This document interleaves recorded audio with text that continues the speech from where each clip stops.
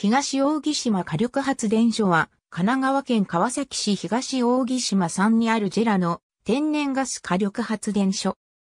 川崎港沖合に1971年より埋め立てを開始し、1974年に完成した人工島である東扇島に位置する。1987年9月に1号機が運転を開始、2号機でが建設された。1、2号機とも出力は国内最大規模の100万キロワットである。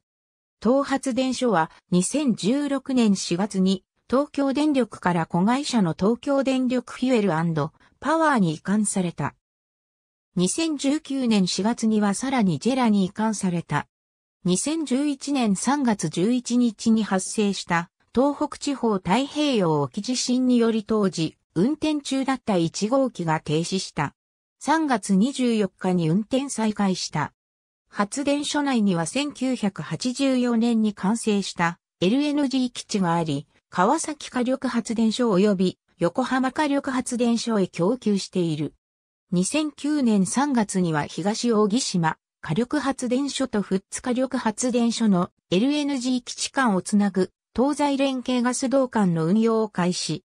これにより、神奈川県側の3つの火力発電所と千葉県側の5つの火力発電所を結ぶパイプラインが構築され、LNG 供給の安定性向上や発電所と LNG 基地の弾力的かつ効率的な運用が実現した。ありがとうございます。